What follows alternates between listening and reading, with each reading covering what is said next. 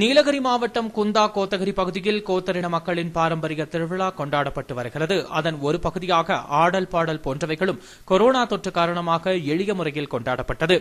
ஏற்கனவே கோத்தரின மக்கள் தங்களுடைய அம்மனோர் ஐயனோர் திருவிழாவினை வெகு விமர்சையாக கொண்டாடி வருகின்றனர்.